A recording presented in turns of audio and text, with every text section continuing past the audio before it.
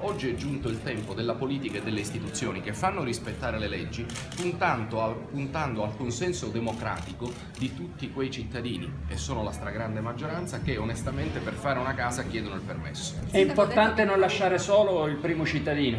Proporrò eh, per il sindaco adesso agli organismi tecnici eh, una scorta eh, alla sua persona e anche una vigilanza ai luoghi della eh, sua vita, perché la scelta di amministrare una città non significa fare la scelta dell'eroismo e quindi la paura è un sentimento naturale e lo Stato deve intervenire per eh, sottrarre paura a chi ce l'ha, avendo avuto il consenso del popolo per governare una terra splendida e difficile come questa. Ministro, il sindaco ha detto di essersi sentito completamente abbandonato dalla politica sulla quale invece contava e di aver trovato accanto a sé soltanto lo Stato. E io sono molto lieto e fiero del riconoscimento del sindaco nei nostri confronti. Io sono accanto a tutti gli amministratori di qualunque colore politico si pongano dalla parte della legge e per il porsi dalla parte della legge corrono dei rischi personali. Lo sono stato in altre zone d'Italia, lo sono qui e oggi è il tempo eh, della, di una voce con un tono più alto.